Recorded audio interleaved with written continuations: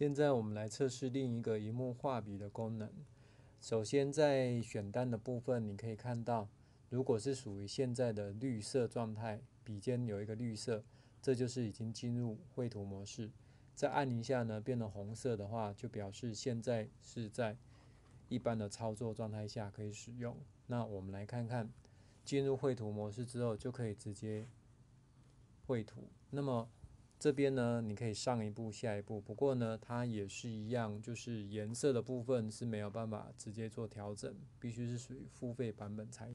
在免费的功能部分，主要就是只剩下这支画笔可以使用，其余的呢，像包括拍照的功能，哦，或是设定的功能，这些都是属于付费的版本才可以做得到。最后呢，呃，如果您要离开它可以按下左下角的叉叉，这样就可以了。